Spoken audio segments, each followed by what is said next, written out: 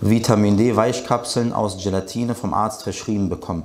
Darf man diese verwenden oder muss man sie wegschmeißen? Man darf sie nicht verwenden und man muss sie wegschmeißen.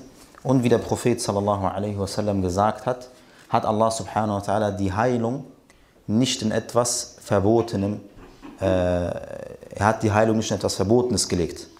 Ja? Von daher ist das nicht erlaubt, diese Sache zu nehmen.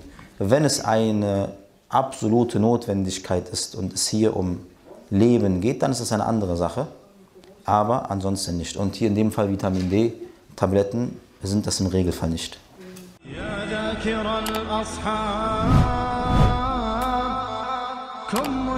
يا